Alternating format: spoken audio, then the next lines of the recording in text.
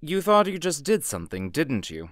Well, sorry to burst your bubble, but numerous sentences can be constructed without using the first letter of the English lexicon.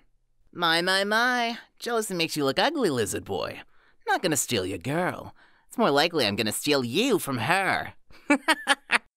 hey, dear, I need some money. Would you like to try my services? Ah, these crazy bitches are no fun. I've been clean for two weeks. Well, sorta clean.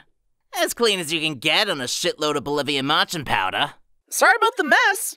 Everything Jack kills, he dumps here. Bandits, vault hunters, claptrap units. If I sound pleased about this, it's only because my programmers made this my default tone of voice. I'm actually quite depressed. Number 1. I'm afraid I cannot provide you with any information regarding your current location. Number 2. Now that you are here, we shall have you play a game. Number 3. As to game selection, that will be decided upon by roulette. Number 4. The stakes of the game are very high, your lives, in fact. And number 5. Don't worry, this is the final point. Until the game is completed, you cannot leave. Oh, lovely. They've sent me a moron.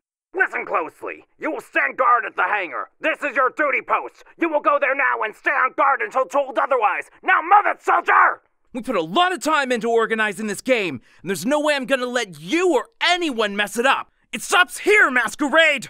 Come on, Serpenoid, do some damage! Bakugan, stand! So, after I said I wasn't taking any more requests over on Twitter, I actually had a friend reach out to me on Discord with another suggestion. So, here, have a bonus! Insurance, you say? Ha!